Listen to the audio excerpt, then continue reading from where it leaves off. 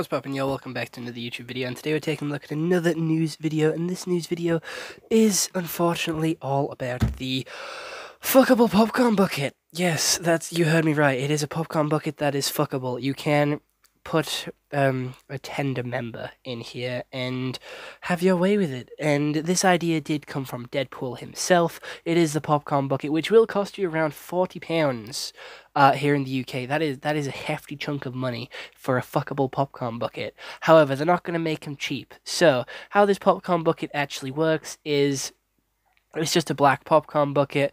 Obviously says designed by Deadpool scrawled across the side in Deadpool's handwriting. You fill it up with popcorn, then you twist the lid on and then it's obviously Wolverine's face and in the mouth there is four flaps which you can stick your hand through, grab the popcorn, and it also works as a restrictor it is restricting how much popcorn you can actually grab in your hand, how much popcorn you can pull out of the bucket, and it also catches it and makes it all fall back into the bucket. So it is really cool at stopping you from eating all the popcorn before you've watched the movie, but I still think it's very weird, and every sort of company started to go away from uh, fuckable popcorn buckets after the Dune fiasco. They all said that they'll never have anything like this ever again. And then Marvel said, hold my beer, and came out with this absolute menace.